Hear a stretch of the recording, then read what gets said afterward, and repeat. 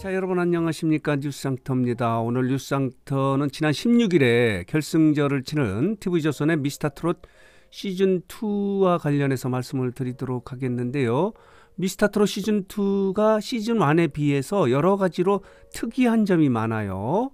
좀 기이한 결과가 나타나서 이 부분을 좀 정리하고 그리고 해석해서 여러분들에게 말씀을 드리도록 하겠는데요. 첫 번째는 뭐냐면요. 이렇게 진선미가 탄생이 됐는데 화제성이 시즌 1보다 그렇게 높지 않다 이렇게 말씀을 드릴 수 있습니다. 안성훈이 진을 차지하고 박지현이 선 그리고 진혜성이 이렇게 미를 차지했는데 시즌 1의 이명웅 그리고 영탁 이찬원의 화제성을 넘지 못하고 있어요. 넘지 못하는 게 아니라 그보다 훨씬 적다 이렇게 말씀을 드릴 수 있는데 특히 진 같은 경우는요. 이런 제목의 기사가 나와 있습니다.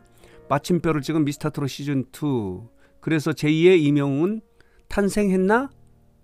이 제목은 뭐냐면요. 탄생하지 못했다는 겁니다. 제2의 임영웅을 탄생시키기 위해서 했던 이 시즌2가요. 임영웅 같은 그런 스타를 발굴하지 못했다라고 하는 의미의 자, 이런 제목의 기사가 나와 있습니다.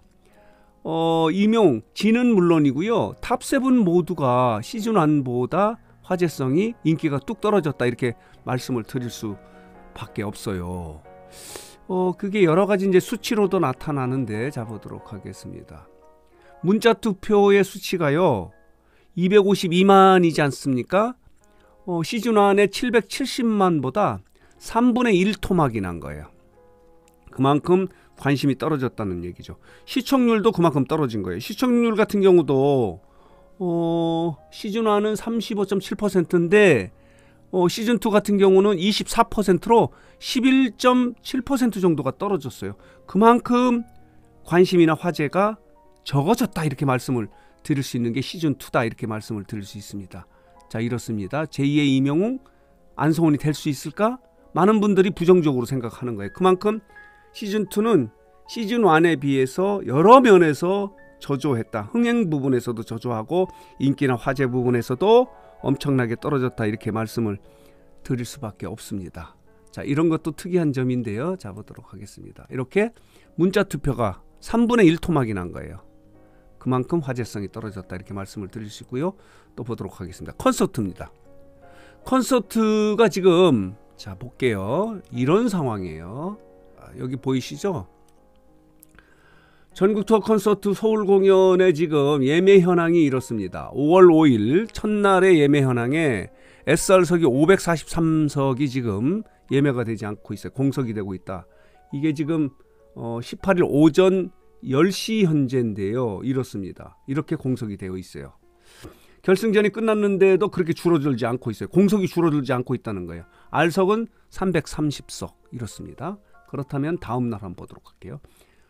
5월 6일 같은 경우 1회 방송이 SR석이 431석이 이미 팔리지 않고 있어 표가요.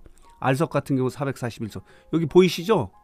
그렇다면 2회 방송은 어떤가요? 더 많아요. SR석은 643석. 그렇다면은 자, 7일 공연은 어떤가요? 좀 적더라도 SR석이 이렇게 365석이 공석이에요. 팔리지 않은 거예요. 표가 팔리지 않, 않았다. 이렇게 말씀을 드릴 수 있습니다. 자 보도록 할게요. 그러나 자 박서진 같은 경우는요 지난 3월 5일에 콘서트를 하지 않았습니까? 예매를 시작했는데 예매 오픈 즉시 거의 초고속으로 매진이 된 거예요. 트로트의 대세를 보여주고 있는 거예요. 탈락자가 Top 7 진선미보다 더 인기가 있다 이렇게 말씀을 드릴 수 있어요. 탑7 그리고 준결승전에 올라갔던 사람들이 꾸미는 전국 투어 콘서트는 파, 표가 팔리지 않는데 탈락자인 박서진 표는요 초고속으로 매진이 되고 지난 3월 5일에 성황리에 콘서트가 마무리됐어요. 아주 특이하고 기이한 현상이 지금 나타나고 있는 거예요. 탑7 진선미보다 탈락자가 더 인기가 있다 이렇게 말씀을 드릴 수 있는 겁니다. 어, 다음 주 목요일 23일에 예정되어 있는 갈라쇼가요. 오늘 어, 녹화를 할 예정인데요. 여기에도요. 갈라쇼 같은 경우는 결승전, 준결승전에 올라간 참가자들의 축하의 무대거든요. 여기에 박서진이 출연키로 예정돼 있어요. 탈락자가 출연을 해요. 그만큼 화제성이 높기 때문에 그렇습니다. 그래야 시청률을 끌어올릴 수 있기 때문에 뿐만 아닙니다. 김용필하고 황민호도 갈라쇼에 출연을 해요. 이미 탈락했던 이 탈락한 사람들이 참가자들이 결승전에 올라간 탑세븐보다 더 인기가 있기 때문에 갈라쇼에 박서진 그리고 김용필, 황민호가 갈라쇼에 출연을 해요. 그리고 더 특이했던 점은요. 자, 보도록 하겠습니다. 더 특이했던 점은 결승전에요. 이미 탈락한 김용필이 축하 무대, 축하 무대를 꾸며요. 특이하지 않아요? 물론 뭐 최백호와 함께 콜라보 무대를 꾸미기 위해서 했지만은 탈락한 사람이 결승전 top seven의 순위를 결정하는 그 무대에 축하 무대를 꾸미는 것도 특이하고 기이한 현상이고 결과다 이렇게 말씀을 드릴 수 있어요. 다시 정리하면요. 어, 미스터트롯 시즌2는 시즌1과 여러 가지 차별화된 기이한 현상들이 나타난, 기이한 결과가 나타난 거예요. 전체적으로 화제성이 떨어지고요. 물론 뭐 진선미는 시즌1보다 월등하게 화제성과 인기 부분에서 떨어지고요. 탑세븐 전체도 마찬가지입니다. 그때는 난리가 나지 않았습니까? 시즌1 같은 경우는 전국 투어 콘서트는요. 티켓 오픈 즉시 거의 뭐 5분 10분 만에 다 매진이 됐는데 지금 여기는 매진을 시킬 수가 없는 상황이에요. 그만큼 화제가 떨어진다는 얘기죠. 그게 특이하고 아까 말씀드린 대로요. 결승전에 올라간 7명보다도요. 탈락한 사람들이 더 인기가 높아요. 박서진, 김용필, 황민호가 더 인기가 높기 때문에 이들을 갈라쇼에 불러들일 수밖에 없어요. 이게 좀 특이하다. 기이한 결과다. 이렇게 말씀을 드릴 수밖에 없습니다. 여러분들은 어떻게 생각하십니까? 그래서 지금 문제는 뭐냐면요. 미스터트롯 시즌2의 문제는 일전 앞선 영상에도 말씀을 드렸지만요. 전국 투어 콘서트 큰일 났습니다.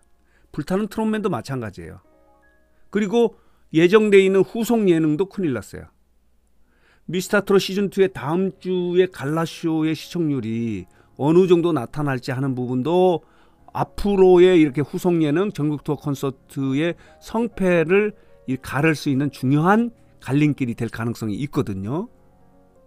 그만큼 지금 미스터트롯 시즌 2는 종영을 하고 결승전을 마쳤지만은요. 또 다른 위기에 봉착했다. 이렇게 말씀을 드릴 수 있습니다. 시즌 1과는 완전히 다른 특이한 현상이 지금 발생하고 있다. 이렇게 말씀을 드릴 수 있습니다. 그래서 오늘 뉴스상터는 어, 미스터트롯 시즌 2가 이제 결승전을 마쳤지만은 이 시즌 2가 가지고 온 특이한 현상, 기이한 결과를 좀 정리하고 분석해서 말씀을 드렸습니다. 여러 가지 수치 면에서도 떨어졌고, 그리고 오히려 탈락자가 결승에 진출한 참가자보다 더 인기를 끄는 그런 기이한 결과가 나타나서 이 부분을 좀 정리해서 말씀을 드렸습니다.